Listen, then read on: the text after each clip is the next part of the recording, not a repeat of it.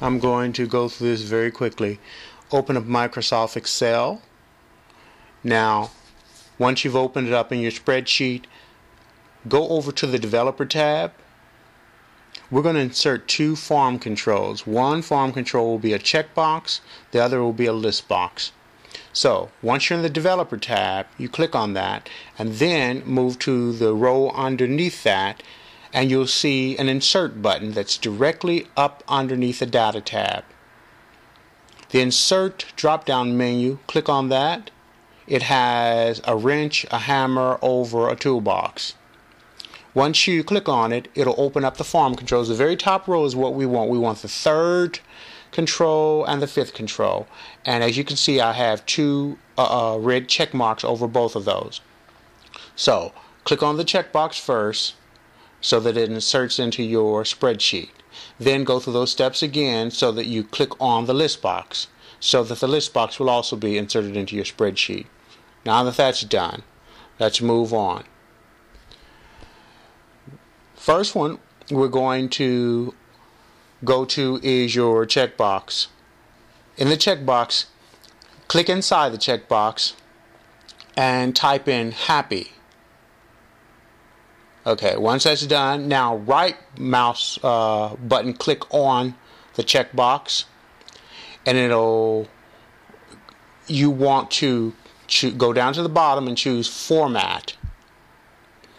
Once you do that, format control box will open up. In the cell link, you want to click on the icon next at the end, uh, the right end of the cell link uh, field, and it'll open up. Once it opens up, click on cell A1. Then click on that icon to the right again so that it populates the cell link field with A1. Or you can just type it in there, but it's best to do it that way. Once you do that, make certain that the value, the value you have radio buttons that says unchecked, checked, and mixed. Make certain that checked is uh, checked. Once that's done, press the OK button. All right, now we're going to move on to your um, list box. Right now you have an empty list box. So what we want to do is we want to fill that with the names that we have in cells J2 through J4. J2 is Nancy, J3 is Jim, J4 is Terry. Okay, so what we want to do is right mouse button click on the list box. Go down to the bottom, format controls. Okay, now it opens up for you. The format control box, the list box opens up for you. The input range will be the names that I just called off, J2 through J4. So click on the icon to the far right of the input range field then select cells J2 through J4. Then click the uh, icon at the far right again so that it populates the input range automatically. So once you do that, you should see J2 through J4 in that box. Now we want a link cell. The link cell field, click on the icon to the right of that field and then click in cell B1. Once you do that, click on the icon at the far right again so that it populates the link uh, the cell link with B1. Once that's done, make certain that the selection type is single. You have single, multiple, or extend. Uh, we want single. Once you do that, click the OK button. Okay? Now, we have everything we need to actually get started with the formula. Now it's time to write a formula.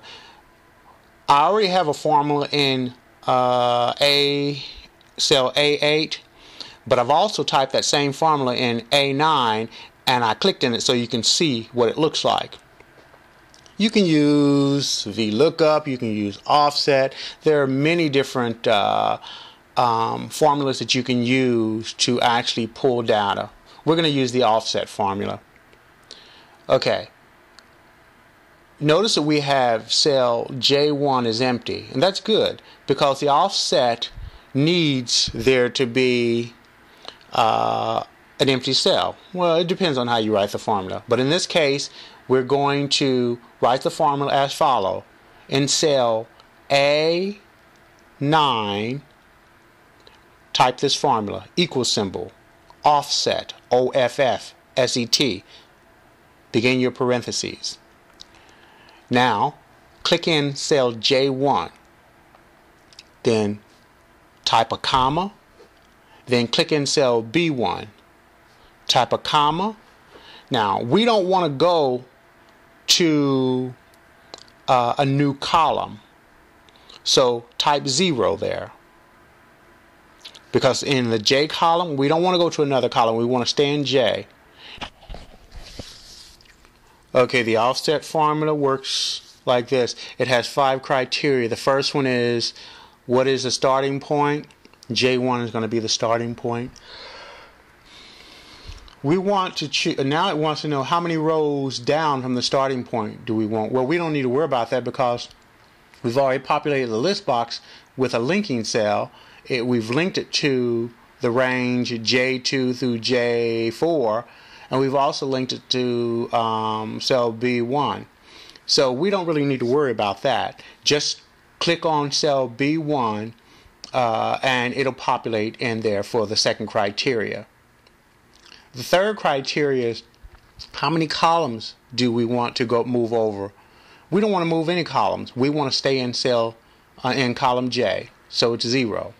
Because J1 is where we want our uh, starting location for the offset formula. Since we're already in column J, that's where we want to stay. So it's zero for the third criteria. The fourth and the fifth criteria, uh, the fourth criteria is for uh, enlarging or making smaller the width, I'm sorry, the height of the cell. We don't want that. We want to stay at the default. The default for the height is 1. The default for width is also 1. So um, 4 and 5 is going to be a 1. So we should have offset parentheses J1 comma B1 comma 0 comma J I'm sorry, let me start over. We should have equal offset comma J1 comma B1 comma 0 comma 1 comma 1 close parentheses. Now we want to concatenate that, which means to combine that to a text string because we want we don't want to have to write anything. We want uh, we want our um, form controls to do the work for us.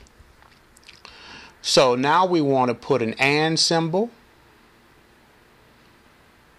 Then we want no spaces. We want a quote, space, and then the word is, then a space, then close your quote, and then another and symbol without any spaces. Now we want one more formula.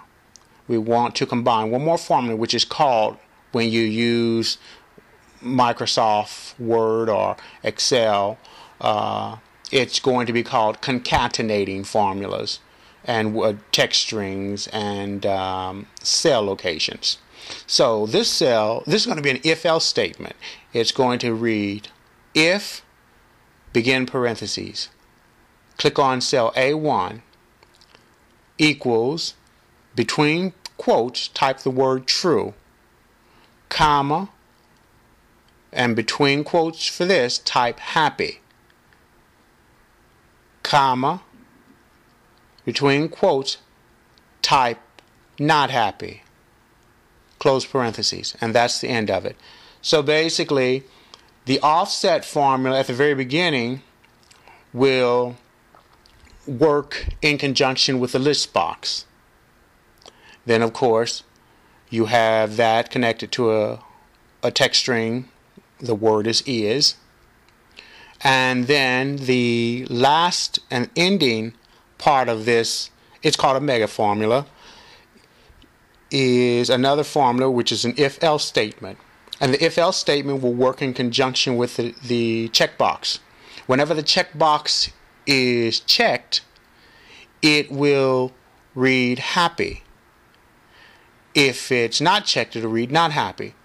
Because remember, if a checkbox is checked, in cell A1, it'll automatically have the statement true. If it's unchecked, it'll be false. So that's why the formula says if cell A1 equals true, then happy.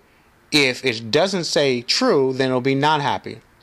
So let's say if we didn't check that box and we selected the name Terry, the statement would read, Terry is not happy. Now let's say we check the box and we selected Nancy from the list box. It would read, Nancy is happy. And that is basically how this whole thing works when you um, use form controls. Thanks. Take care.